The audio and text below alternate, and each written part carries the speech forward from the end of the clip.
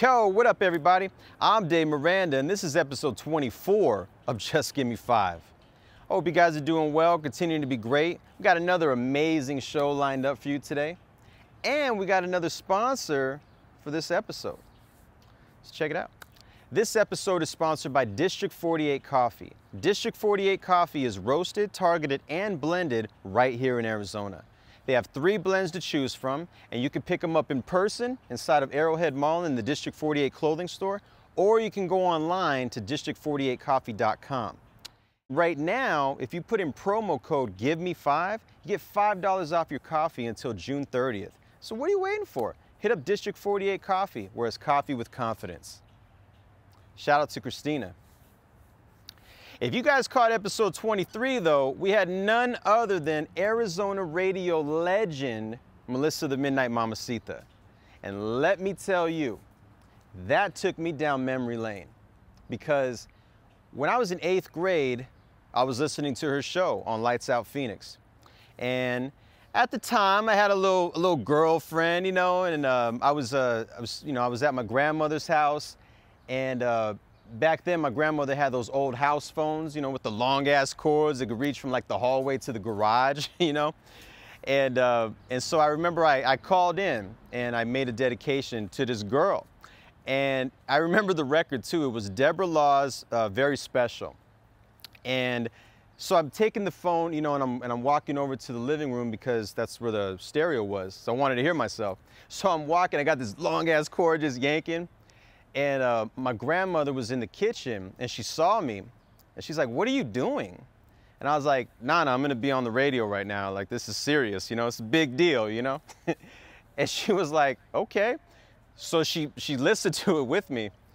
And, uh, you know, we hear, we hear me on the radio and stuff. And she was like, Wow, wow, mijo. She's like, That was, that was, that was good, you know?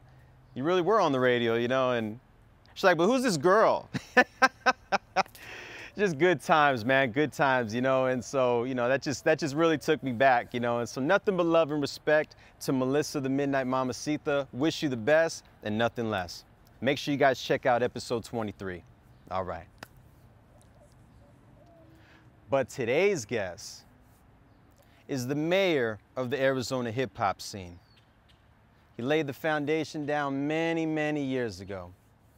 Originally being a member of the hip hop group No Question, which consists of himself, Mike Wild, and DJ Daryl D. He then went on and got a deal with Artist Direct Records, and we're going to talk about that. We're also going to have him speak on his friendship with Eminem and the late great Proof and how those came about. Since then, he has transitioned into radio broadcasting, and we're going to touch on that as well. This gentleman is that dude. Always has been and always will be. So, ladies and gentlemen, without further ado, I present to you Pokafase. I am Pokafase, your baby mama's favorite, the hometown hero, whatever you want to call me, man. We can talk for days, but all I'm saying, man, is just, just give me five.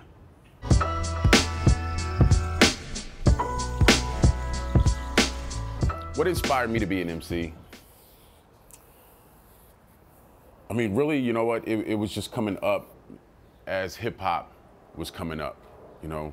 Um, blessed to be part of the golden era of hip hop and, and to live in a time where we got to see hip hop's roots and now all the way through hip hop being the world's biggest cash cow, right? So, um, you know, what originally inspired me, Rakim, uh, Run DMC, you know, Will Smith, D- okay. DJ Jazzy Jeff and the Fresh Prince, you know what I'm saying? You know, hearing hearing this stuff. I mean, Grandmaster Flash and the Furious Five, right? The message, the message was the coldest record I had ever heard in my life when I first heard the message. You know what I'm saying? Yeah. Uh, Melle Mel, you know, and, and so um, I think just just how fresh and new hip hop was, you know, growing up in the age of breaking and and Beat Street. You know what I'm saying? The whole world was starting to figure it out, and and so, you know, being a young impressionable youth, I was figuring it out too. You know. And then I think as I as I got an appreciation for the art form and for you know the gladiator sport that that MCing is, um, I started to really appreciate the intricacies and and then as other MCs came along, they kept me inspired. You know what I mean? And so, you know, I'll never forget when Nas dropped, Illmatic just shook everything. I was like, hold on, just hang on a minute. I need a second to process this album. You know what I'm saying? When Jay dropped, you know, when Dead Presidents hit for the first time, I was like, well, turn, turn everything down. What, what, what is this? you know what I'm saying? Um, you know, Outkast, Outkast was a big one for me. Um, I had just started making music of my own, you know, actually trying to record some records. And I saw Players Ball, and it was like, again, again, it was like they came in and there was nothing like it in the game. You know what I'm saying? And I think Andre 3000 had a really, really big, um, made a really big impression on me uh, because he was completely different. You know, it wasn't hard like G rap, you know what I'm saying? But it wasn't, you know, super artsy. You know, it was it was like that perfect blend. And I I, I just remember like just being enamored by Outkast, right?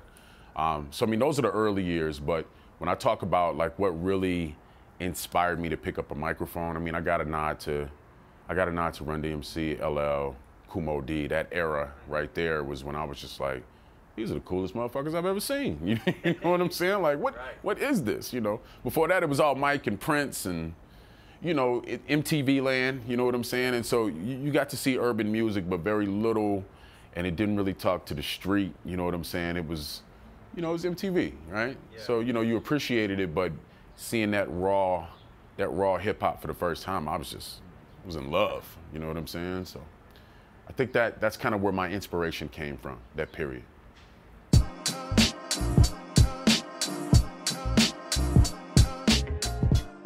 So no question and artist direct, man, they're really two two huge chapters, man. They they you know, one kind of bled into the other, but both so significant and so different in their own right. You know, of course I'm a little bit biased, right? So yeah.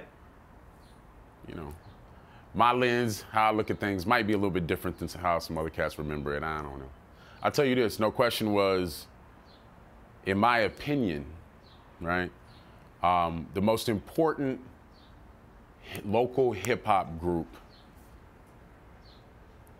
definitely of its time, and one of the most important all the way through everything, right? And that, that's not just because I'm a part of it, right? Right. Um, but we transcended so many different areas. Like we we blurred so many lines, right? You know, we were real MCs. We were true MCs, right? So the backpackers, you couldn't say shit, right? Because I feel like, man, I, will come wrap, I'll wrap this fucking page around your head. You know right. what I'm saying? Take your backpack and going back to your cipher, right? Yeah. Um, but we were street niggas. You know what I'm saying? So, yeah. you know, at the same time, you know, come you can come play with us if you want to, but I'm in the cipher with you know a 45 in my back, and, and you know what I'm saying? yeah. Corbin with a nine in his front, and and you know, we were out there and we were moving around, you know, over on the northwest side, and and you know stepping around in other areas of the city and and yeah. just you know we were we were we were really out there and we were sewing together a lot of different pieces right um, you know one of the other important things about no question is we were one of the groups that showed people it really could be done out here in arizona right we happen to link with tyree michael carter tmc presents who's a legend in his own right you know um, and Ty was able to pave the way to, no question, being seen on a national level, right? Um, because we were opening for some of the, the biggest artists in the world, for all of the biggest artists in the world, really, at the time, um, except for uh, Jay Z and Tupac. Those were the only two that we didn't catch. But I mean, Biggie, Eminem, Outkast, Naughty by Nature, Fugees, LL, Nas, Wu Tang, uh, Meth and Red, Big Pun, Ludacris. I mean, I, I, can just I can go on forever. We open for so many people, right? Yeah. Um, and so you know, I, I, believe that hope, right? Hope and fear drive everything.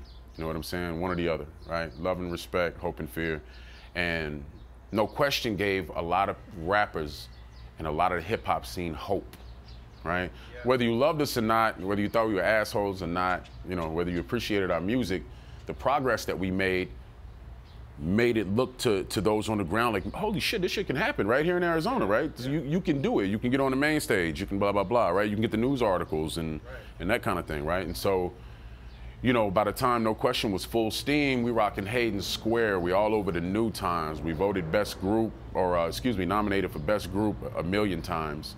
Um, you know, I'm like the Susan Lucci of the Best of Phoenix Awards. I, have been nominated myself through about four different groups. I've never never won. Right?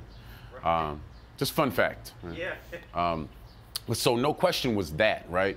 You know, we were like we were like some of the first local superstars, and I say some because I, I don't want to take credit for the hip hop scene. That's not what I'm here to do. Right.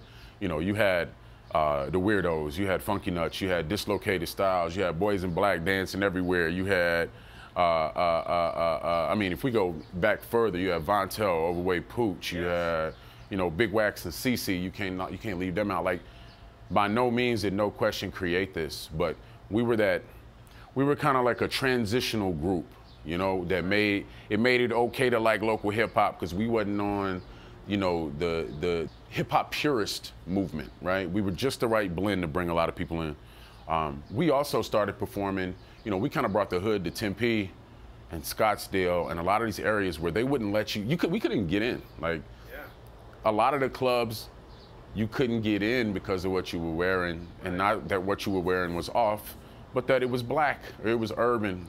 And I mean, let's face it, Scottsdale in, in the early 90s was about as racist as it gets, covert. Yeah, Tempe too, shit. The the police, you know, they, they would literally walk the horses through our ciphers and let them shit in the middle. And then if we still kept rapping, they'd come back and pepper spray us. right? I mean, like, this is just, this is the truth we lived in in the early 90s, you know? But we were resilient through all that, us and, and, a, and a number of others, man, that, that continue to help build the scene, right? So when I talk about No Question's importance, it's, it's from that aspect, right? It's not that we were the greatest rappers in the world, although you couldn't probably tell me any different. Um, but you know, it, it, was what we meant to the people we meant it to, right? And and kind of kind of the perseverance that we had. You know, you couldn't really do anything to stop us. We got shot at, we got jumped on stage. Um, you know, we tore up parking lots after clubs. You know, we dealt with threats. I mean, all kind of shit, right? And it's funny because hip hop back then was like a microcosm of the national hip hop scene. So you had these two big warring factions at the time, and we fighting each other, and, and at the same time, Bad Boy and Death Row are fighting each other, and you know, you could draw your crazy comparisons to everything going in on in the city at the time. But it was, uh, it was a, a, remarkable time to be part of Arizona hip hop, you know, because uh, we were still all trying to find ourselves, right? Nobody, nobody knew what this shit was gonna look like. We didn't even know that there really could be a scene. We just all love hip hop. We kept yeah. doing it, you know. Um, but sadly, you know, no question came to an end. We. Um, me and my partner, man, we went hard, man. You know, and, and God bless Mike Wild. He is still to this day my best friend in the whole world, you know. Um, but man, the lifestyle is crazy and it took a toll on both of us. Um, I don't have a very addictive personality at all. My partner does. And it just, uh, it made for some interesting times, especially as we started to get more and more serious about the music. You know, I, I kind of understood the importance of us being able to work without some of the distractions, and it just didn't quite work out the same, right, for the group. So uh, I went solo in 90, 99, uh, the year after we dropped Eclipse. And that kind of led to the artist direct era. Artist direct was interesting. Um, it was a bit, it was like school, man. Yeah. Like artist direct and and really, really my music industry experience kind of took the place of college uh, for me. So I learned a lot through all of that, you know. Uh, I was working in hip hop trends in Arizona Mills, trying to figure it out, trying to figure out what I was doing with this rap stuff. I had made uh, a couple of demos. Um, we had put together a group demo, right? So No Question was part of a group called the Ten Commandments that was a, a collective of 10 rappers out here. And then Ten Commandments was loosely thrown together uh, it turned into the associates, which was us and our crew. You know, at the time you had Flip Mode, you had Def Squad, right? You know, those kind of things working. Uh, we were the associates, right? And that was kind of as D12 was emerging on the scene, and you know, M was starting to get get his legs under him, and um, the associates was uh, Adam Bomb, Il Sean, uh, Vina Cava, Mega Man Andretti, myself and Mike Wild, and we, uh, you know, we did some amazing things. And then along came Proof uh, with D12, and then Proof joined the Associates, and then it just went through the roof. But to bring all of that back, you know, I'm working in a, the clothing store, and we get a call that one of the demos we sent that had all the Associates records on there, I put a song called You're Not a Rapper at the very end of it. And it landed in the right hands. Lil Sean of Phoenix radio fame, uh, then on the Shade 45, right? right. Uh, Lil Sean had passed the demo uh, to a friend of ours, Jesse Beer, whose father, Lenny Beer, owned Hits Magazine, which is a trade mag. Um, Lenny was like, yo, these kids are, are dope, but this kid at, at, the end of this tape, man, you know, you got to hear this. And he gave it to Ted Field, right? T Ted and Lenny are close. Um, history lesson, Ted Field is uh, one half of the duo that started Interscope Records. He was the money man, Jimmy Iovine's more the music man, and I'm, I'm really condensing it, right? Um, but so Ted Ted heard it, and, and uh, you know, he later told me he just flipped it to his daughter, like, I don't know, listen through this. And I think his daughter was like 13 at the time or something like that, right? 14. Um, yeah, if you like it, let me know. And she listened and she loved my record. And she went back and told her dad, you got to sign this kid right here. You, we need him right here. You need him. Um, and so I get a call while I'm working in the mall. Ted Field wants to fly you out to, to Los Angeles. They want to talk to you about your music. I didn't even know who Ted Field was. So I'm like, eh, you know, I got shit to do. yeah. yeah, is it serious, right? Um, needless to say, we took the meeting. Uh, they flew us out Friday, July 13th, Friday the 13th, uh, at 11 a.m. We showed up to Artist Direct offices, and by about 11:15, Ted had told me he was going to sign me to a major record contract. Um, I could try, try as I may, I won't be able to beat his deal. And we tried. Uh, we talked with Blackground, uh, we talked with Loud, some talks that stalled with Def Jam, and there wasn't a better deal than what Artist Direct was offering. Uh, we took the deal, and it was, you know, obviously one of the best things that ever happened to me. Um, but it was with a startup, even though Artist Direct was big money and Ted was half of Interscope it was still a startup, and Artist Direct was the first company to really embrace streaming. And so the world was kind of trying to figure out what they were doing, right? Because it was all about downloads and CDs and mechanical royalties and that kind of thing. You know, what is streaming, right? So, um, landed on Artist Direct, and, and from there was a dream. I signed like one of the the last uh, fairy tale record deals, right? Huge signing bonus, huge budget, studio fund all kind of marketing, promotion, and touring commitments and everything. I mean, it was it was as big as it gets. Uh, seven-figure deal. Um, and then Artist Direct ran into to their own trouble. Uh, you know, in my opinion, they backed the wrong artists. Uh, Smilez and Southstar, Poverty. Yep. Um, you know, I think they were working with A. Marie at one point. And, you know, not that those weren't great artists, but they obviously didn't recoup, right, or not enough. And so Artist Direct had its troubles. I had however many thousands of CDs already in packaging, ready to ship, and Artist Direct went belly up. A lot of learning in there for me, right? Uh, sitting in on all the negotiation of my own deals and, you know, the whole studio process. I mean, you know, I've worked with some of the biggest producers in the game. Uh, Warren G's done records for me, Scott Storch, uh, Bink, um, we had a session lined up with Kanye, but God bless him, he got hurt in a car accident back then. Um, I mean, Hot Runner, I, I, can, really the list goes on. There's a, a, gang of folks I've been blessed to, to be in, in their presence. Um, yeah, man, so, you know, I know that's the long answer to question number two, but, uh, you know, Artist Direct, it taught me a lot. It was my, my first real foray into the industry, knee deep, and I soaked all the game up. You know, it was all about uh, learning the business and learning as much as I can uh, to make sure I had the right springboard forward. You know.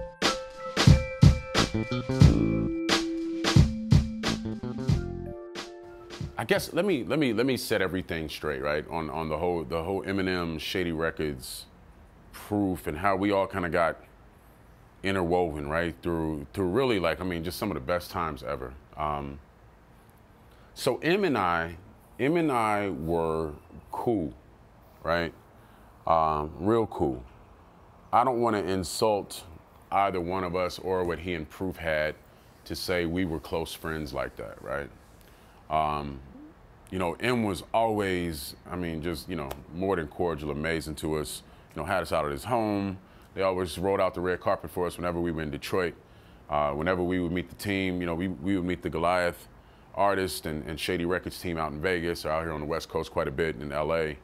Uh, you know, and they were just always real accommodating, you know, and it was real. Like it was always real, right? It wasn't it wasn't everybody fanning out, right?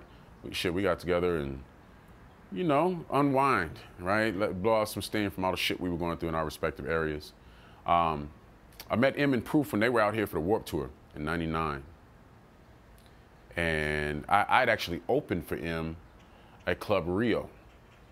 Um, but then he was back out here for the Warp Tour, and I got a call from Fade, who who is my lead producer, and really, really, you know, Fade is is a huge piece of my story, right? You know, benefactor slash lead producer slash, you know, kind of the the the mastermind behind uh, what to do with Pokafase post no question, right? And so he he was really instrumental uh, just in in the early part of my career. Him and Ty Carter. I mean, you know, I credit I credit uh, most to the to the team I had back then.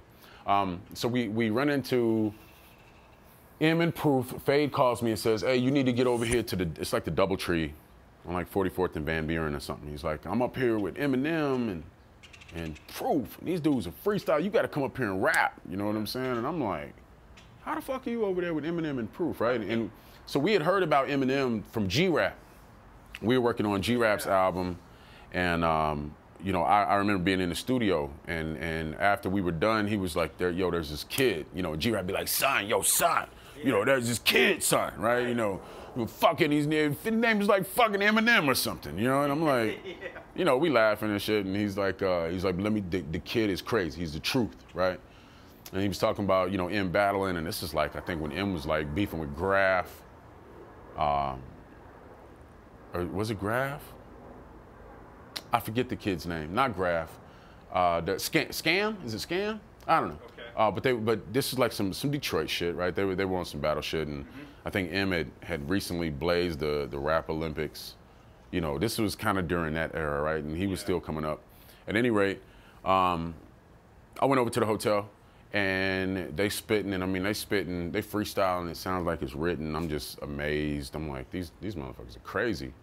Um, M had to dip. Proof wound up staying, and we just sat and built with Proof to be honest. It was just kind of a, a, weird happenstance. He was sitting around before the show, had errands to run, ran a couple errands with him, you know, and um, he was just a real dude, you know.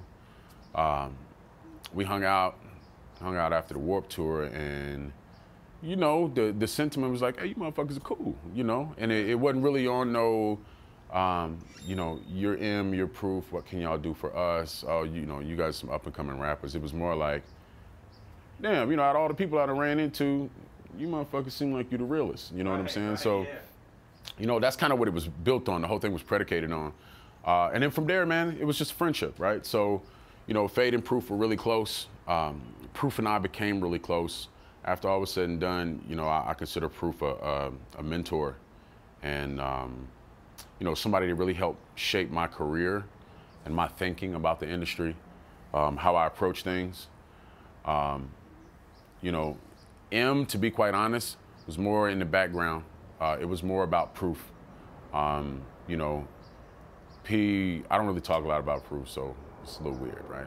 Um, but P, you know, he was the kind of person that no matter who you were, right? If you were, if you were on his team, you were on his team, right?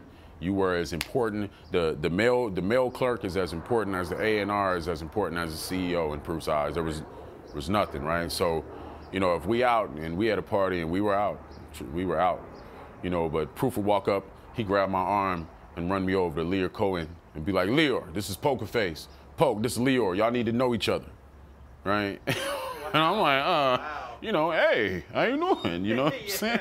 You know, and, and but people do that everywhere. Poke, Jimmy, Jimmy, this Poke. He knows Ted. You know Ted. You guys talk, right? right. Wait, hey, how you doing, Mr. Ivy? you know what I'm saying, right? Um, but you know, that was just the dude Proof was, and he yeah. wasn't tripping. You know what I'm saying? And so, you know, if he loved you, he loved you like that. You know what I mean? Um, and so, you know, it was really that whole time period. I was trying to figure it out. You know, I didn't know shit. I'm a kid from Arizona that suddenly was given way too much money and thrust it into the, the middle of the music industry. You know, Shady Records, Eminem, 50 Cent, Dr. Dre, Aftermath the biggest shit in the world at the time. And we are literally behind the scenes through all of it. So from 99 to 06, you know, when, when Proof was murdered, um, you know, we are, we're running the Up in Smoke tour. So we are backstage, behind the scenes, at the hotels, on the buses, uh, here, Anaheim, Vegas, LA. Um, you know, we, I was in Chungking. I'm out in the studio when D12 was recording Devil's Night. Wow. And, you know, got a chance. They were actually recording fight music, you know. Um, you know, got to be there as M is writing the Marshall Mathers LP. You know, we coming off of of the um, uh, Slim Shady EP and, and just getting being there to hear M talk about how he fucking hates performing How My Name Is. He's over it. You know what I'm saying? Right. But it's still one of the biggest records in the world at the time. You know, um, I remember when I was really two feet in my my deal you know, the Eminem show, just being one of the biggest records in the world. And I remember riding back and forth to the studio, listening to the Eminem show, tripping that we were getting ready to go meet Eminem out in Vegas. Like, you know what I'm saying? It was like yeah. just that kind of thing, you know. And so they um, they had a huge influence. You know, uh, I ran 50's first tour with him with uh, Miko. God bless him. Miko is as important as TMC and and uh, Fade were to the beginning of my career um, Miko kind of picked up midway, and he was equally as important to the later parts of my music career. You know, Proof was the person I would call when I was down on myself or the industry or, you know, just this rap shit. You know, I call like, man, fuck yeah. this shit. You know what I'm saying? Excuse my French, right? You know, right. but, you know, this happened and I'm over this and I'm ready to kill this person. And, you know, people would just be like, check this out, man. You know, remember who you are. Remember what you can do. Know your worth know your value. You know what I'm saying? And and he got me through some some dark times. You know, you know, P had moved was moving to Arizona, and he had spent a lot of time out here with us. And I ran the last five shows with Proof that Proof did before he passed. We did Vegas, and we did uh, Tucson. We did Phoenix. We did a couple in Cali. We did um, some shit in Albuquerque and you know, he he was in a real good spot. Things were really good with him and M. He had, you know, M and Royce were, were trying to work some things out, and Proof was kind of in the middle of, of trying to broker that a little bit, and you know, it was just a lot of a lot of things kind of swirling, and and um, you know, we had been telling P, hey, come on out here, get get the fuck out of Detroit, man. It's crazy out there, you know, and he was going to close on a house out here, and I remember P decided he wanted to run back to Detroit to, to you know, tie up some loose ends, something they needed to do, I don't know. And so we were all telling P, you know, why? Like, right, right, like don't go. Yeah, you got you got people there, man. Yeah. How them handle that shit? You know what I'm saying? Keep your ass here, right? And uh, he decided to go anyway, you know. And the rest is history, right? I remember I was on the air. I was I was on at uh, Power 98.3 I think it was Power 98 then. Might have still been Power 92 then. Uh, matter of fact, it was still Power 92.3. Yeah. Um, and I was uh, I was on right before the Nuts came on. I was on overnights, still trying to earn my keep in radio. Um, and I, I, got the call at like 5:40 in the morning. Uh, and I know because I still had about 20 minutes of my shift left, and I just left the station. He told me he got murdered. He was shot shot in the head, and that's pretty much it, man. It was a rough time, you know, because it was like a lot of my hope at that point. Right. Uh, it died with proof. Yeah, there was some diminishing. You know, um, but you know, while he was here, man, I really got to uh, to witness some amazing things with proof. The respect that proof got everywhere, everywhere, man. It didn't matter where we went. Didn't matter what city, what crew. Didn't matter if it was execs or if it was hood niggas everybody loved and respected Proof. I mean, you know, obviously except Mario Etheridge, who, you know, I hope he dies slow and painfully. Um, but, you know, I learned a lot from that, you know, in addition to just being an amazing MC and, and what I learned from Proof on the, just the, the, phonetics and the syllables and how he put shit together and, and his process for freestyle and how he laid his shows out. He taught me about, you know, building show sets. He did a lot of that for M. People don't know that. Um, but, you know, getting to see how he was the mayor of Detroit. And when I say the mayor, you know, it didn't matter where he went. They rolled out the red carpet for proof. Um, you know, it kind of uh, it, it, helped me understand how I need to relate to people, and how I should treat people, and how I should bring people along with me, and you know, how when there's an opportunity, go ahead and put somebody in play, right? Make that introduction. Why not, right? If you're secure in what you do and who you are, and you're doing it right, uh, then you look for those opportunities, right? Nothing, nothing says more about a boss than who you promote, right? And a lot of people don't realize that, um, and Proof did, you know. So, you know, it was a blessing. And then, you know, the dude was a gladiator, man. So, you know, I watched Proof smash Supernatural in, in the middle of the the the Magic you know, fashion conference in the Vegas Convention Center at the Def Jam booth, or the Fat Farm booth, excuse me, and, you know, the whole conference stopped and the crowds walk up and proof of Supernatural going at it and, you know, he killed dude. Dude didn't even want a third round. They unplugged the microphone. You know what I'm saying? Yeah. Supernatural probably be mad if he ever sees this, but I mean that's, that's what happened. And don't get me wrong, Supernatural's a ninja on his own. He's a shogun. You know what I'm saying? But you know, just moments like that you know, rocking with Proof and Obi and M at, at, Club Blue in Detroit, you know, after hours, you know, we just getting on the mics and, and, and 50 is there and all the G unit and we all just clowning. And I mean, just those kind of times, of course I miss them, you know what I'm saying? Um, but, you know, all I can say are great things about uh, Proof and Eminem. You know, M was, um, again, he was not the person you would probably expect the biggest artist in the world to be, right? You know, M's the kind of guy that we sitting in the limousine and you know he's he's gonna offer you some game for free, right? Shoot you some advice. Um, just on just on the cool, right? He, he, the biggest artist in the world. He don't even have to talk to me, right? right. But he let me sit and pick his brain and, and add, get my questions off and gave me some real life game back, you know. So um, I have nothing but great things to say about Shady Records, Paul Rosenberg, Theo Sedlmayr, uh, you know, everybody behind the scenes over there. Uh, Tracy, I love you, Tracy. If you ever see this, you know, um, good good folks, and definitely uh, one of the best chapters in my, my book for sure.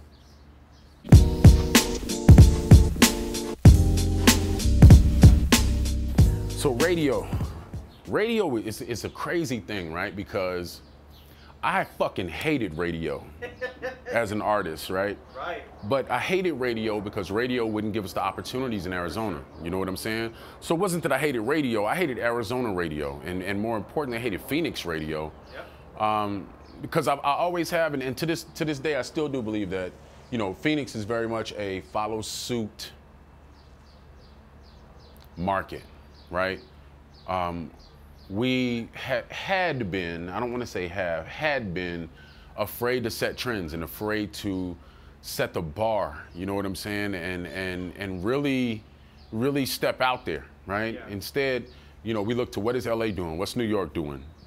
You know, what oh, the Midwest is popping. What's going on in the Midwest? Oh, it's the South. All right, let's bring the South. But but never hey, what's going on on the south side, right? You know, right. what's going on in Tempe? Man, these artists are making noise on the west side. Ain't nothing on the west side. How are they doing this, right? So, you know, there was that disconnect for me with radio. As an artist, I always said, whenever I have the chance, because I, I, was blessed to have some radio airplay, right? Um, Power 92 embraced uh, a, a, few of my records, as a matter of fact, and, and I was able to get some on 101.1, embrace some records.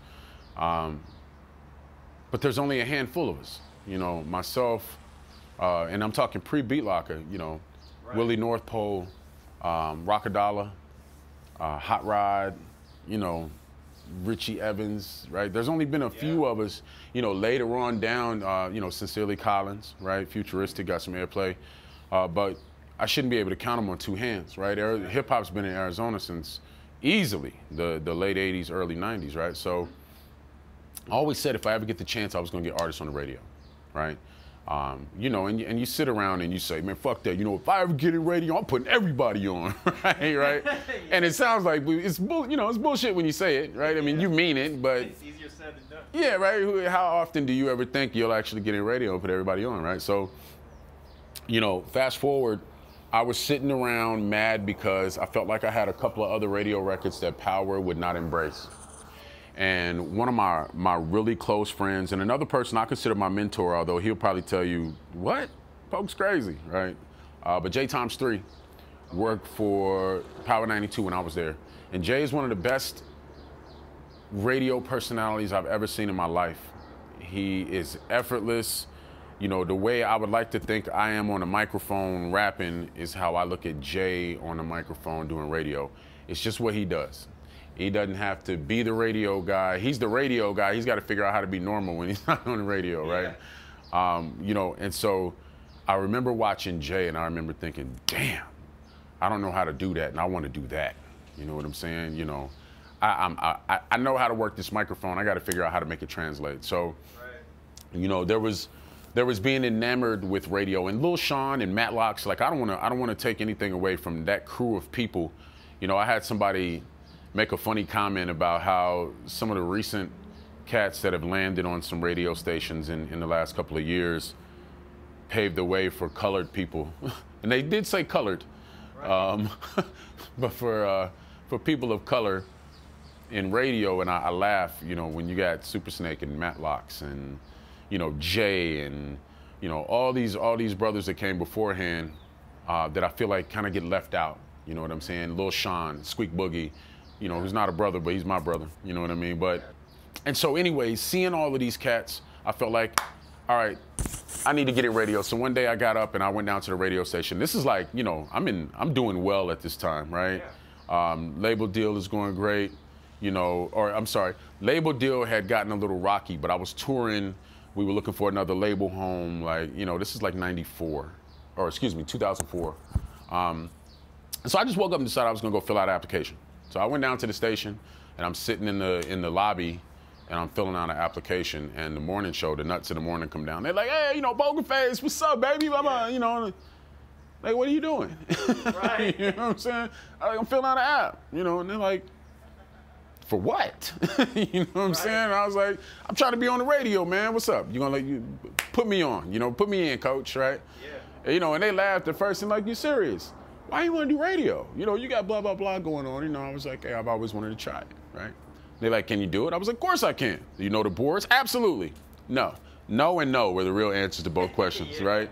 Um, but you know, fake it till you make it. So they gave me a shot, man. The nuts in the morning gave me a shot. They told me to go have lunch with Bruce St. James, and if I could convince Bruce to give me a chance, then they would vouch, right?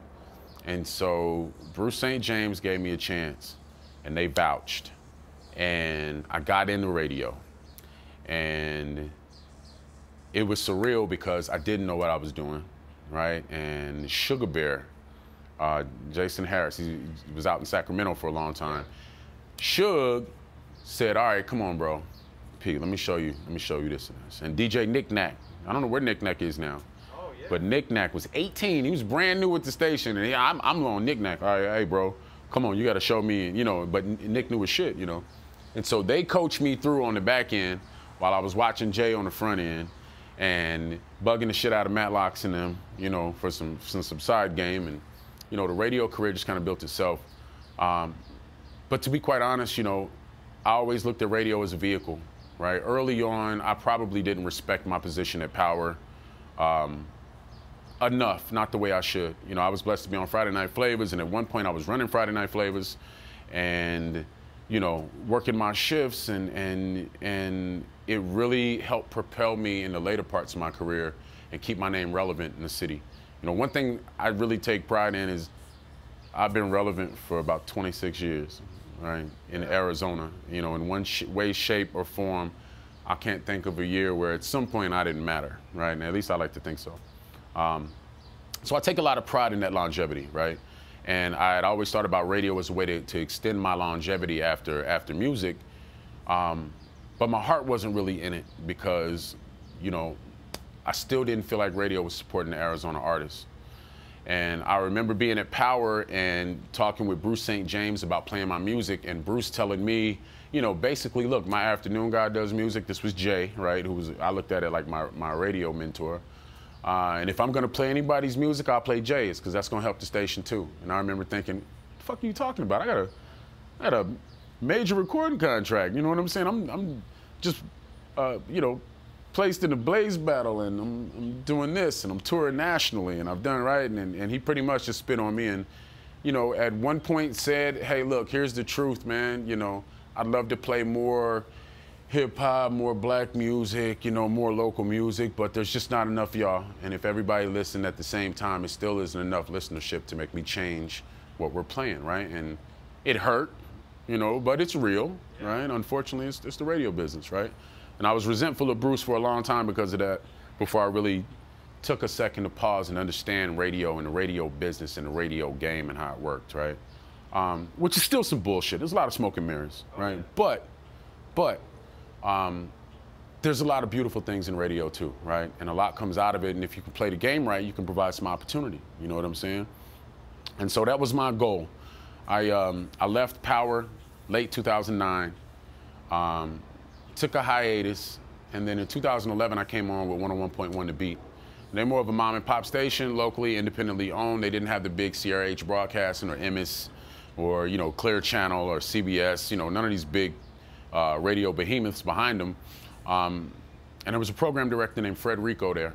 He was out of Hawaii. He had come and you know, the beat was kind of like, eh, it was kind of a fledgling station, right? It had gained some traction, but it was a little more throwback and a little more my speed at the time. And I came in and I worked the first year, and I was so adamant and so annoying about putting Arizona artists on the radio that it literally got to the point where in every staff meeting, they were like, and Pokafase, what do you have to say? I'm like, you know what I have to say. We should be playing local records in regular rotation. I've heard records better than half of what we playing. How come we not supporting Arizona? Why are we, why are we not putting records on the radio? We should be playing this record. You know what I'm saying? And this is like, you know, this was all all during my time at Power, but Power didn't care. And the whole first year at the beat, and finally, you know, I think Matlocks might have might have helped me a little bit. He might have put a bug in Fred's ear. He'll never admit it. Um, but Fred was like, okay, Pokafase, okay, what do you want to do? I was like, I want to show where I play local Arizona records, nothing else, right? And he's like, can you do it? Is there even enough music? And I'm like, yeah, absolutely, sure. You know what I'm saying? Fuck yeah, I can. I don't know. You know what I'm saying? But again, you know, right. more often than not, the answer is yes, right? And I'll figure this shit out on the fly. So, yeah. Um, I told him I wanted I wanted two hours. I, I, told him I wanted four hours. He said, let's start with two. Um, so he gave me two hours, and in 2012, April 23rd, I want to say it was, we started a Beat Locker. Um, and the Beat Locker came about because I had to sit and have a real honest conversation with myself about where I was in music, what I wanted, and what I wanted my legacy to be moving forward. Did I want to be known as, you know, a guy that, you know, just did some great rap records, you know what I'm saying? Or, or you know, how did I want to be thought of, right?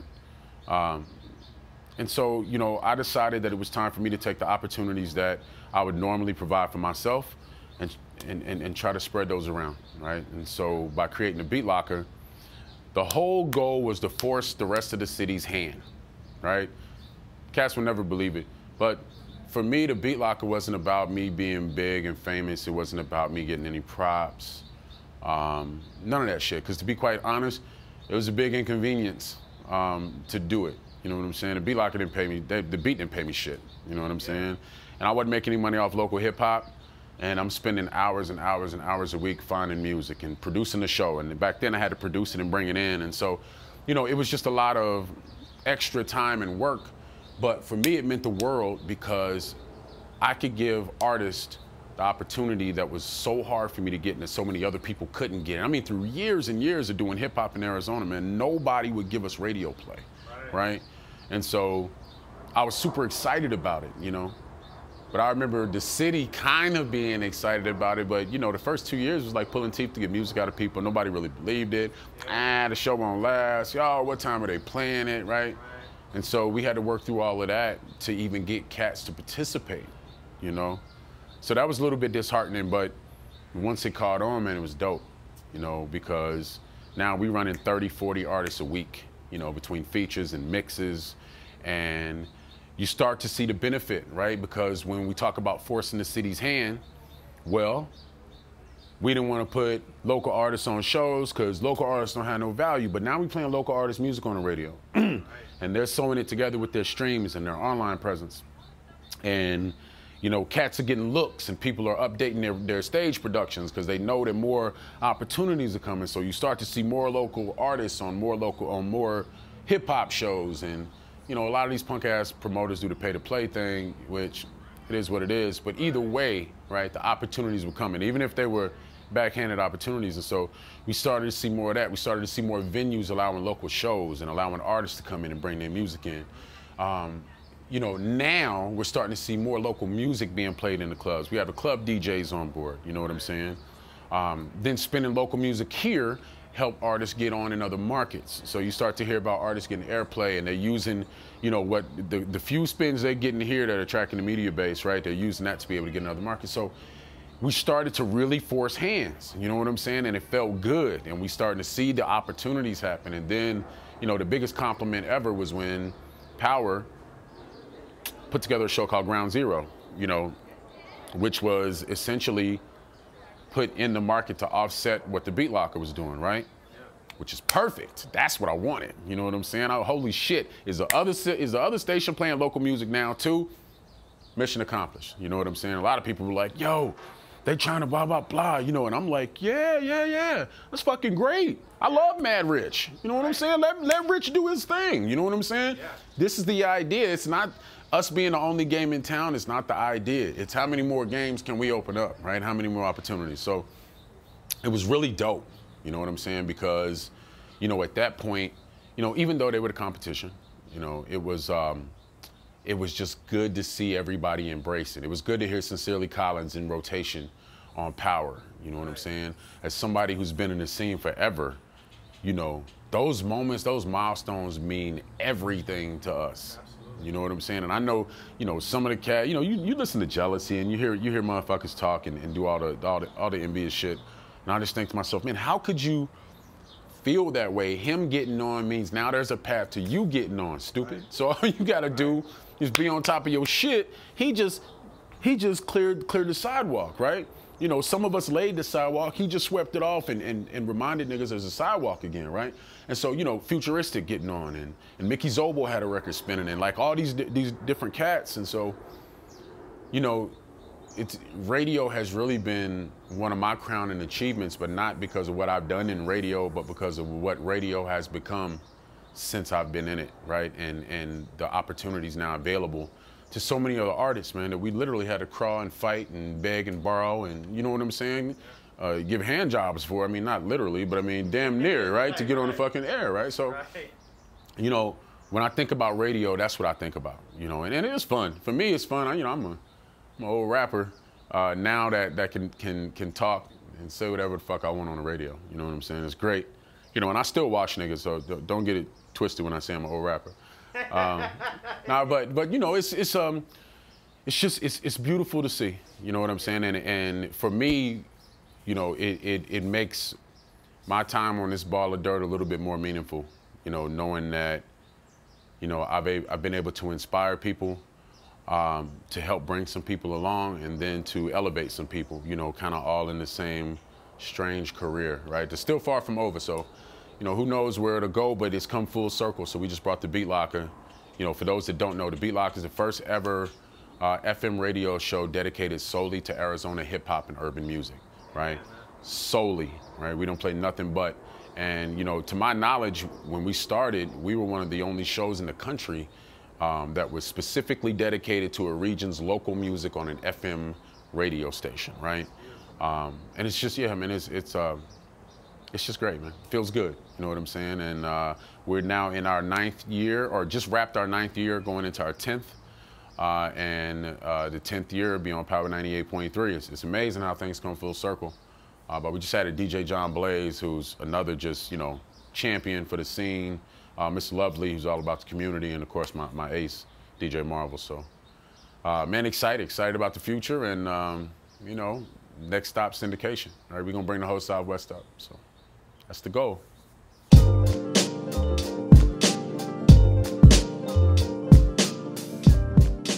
So how does it feel? How does it feel to be loved, right? Um, I mean, amazing, right? I mean, honestly, uh, it's always weird talking about myself. You know, for as arrogant as I'm sure I come off, I don't really like to talk about myself a lot. Um, you know, it's it's dope. You really you do this you do this to be loved. You know, anybody tells you different, they're lying. You know, of course you want the money, but to get the money, you got to be loved. You know what I mean? Um, you know, for me,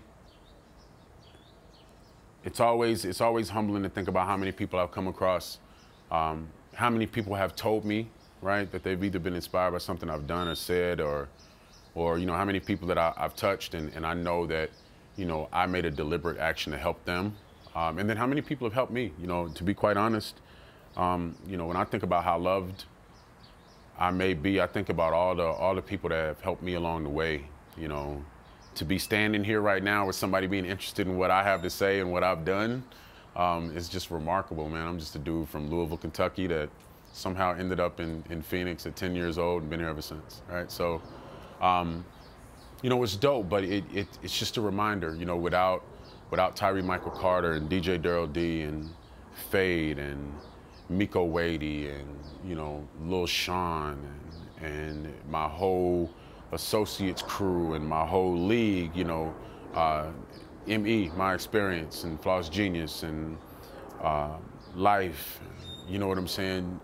Jay Lilly, my, my, my man, Hannibal Leq, like these are all people that have come in and out of my life and that have made it possible for me to be standing here, man. You know, proof. Um, you know, on, and on, on up to every exec I've ever worked with and, you know, shit, all you haters, I mean, to be honest, it, it, it takes a village, right? Um, so, you know, even with the hate, you know, I know that's just misguided love. That's all. You're just trying to figure it out. You know what I'm saying? So, I don't know, man. It's it's the best thing ever.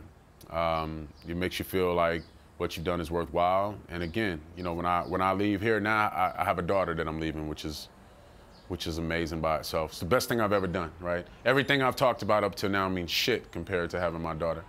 Um, but you know, it's good to know that uh, when people speak of me, when I'm not around, hopefully they'll be speaking beautifully, right? Um, but yeah, man, you know, that's five. I, I know I done gave y'all a little bit more than five, uh, but I appreciate it. I appreciate Mr. Miranda here uh, for doing this. This is amazing, right? Um, just bringing something to you that you may not have known, may not have heard. I don't know. You might have looked at me different before this. You might look at me a little bit different afterwards. Or you might be like, he's the same old arrogant motherfucker. He just he just speaks well. You know what I'm saying? Who knows? But um, it's dope. Man. You know what I'm saying? It's dope. I uh, definitely feel the love right here. Just give me five, and um, of course it'll be reciprocated. You know what I'm saying? Um, and I love Phoenix. I mean, where would I be without Phoenix, Arizona?